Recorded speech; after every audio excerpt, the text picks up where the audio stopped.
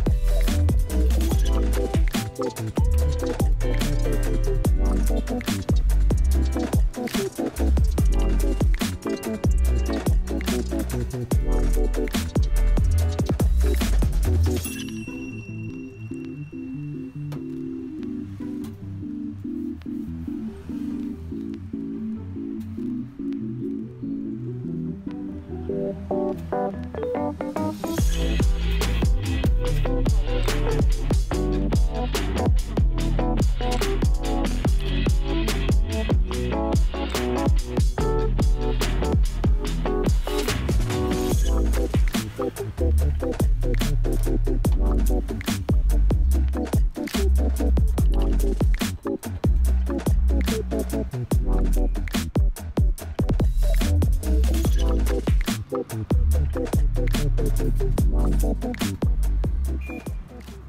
ำหรับผู้ที่ชมคลิปนี้อยู่นะครับ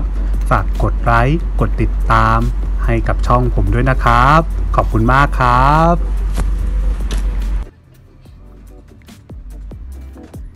Thank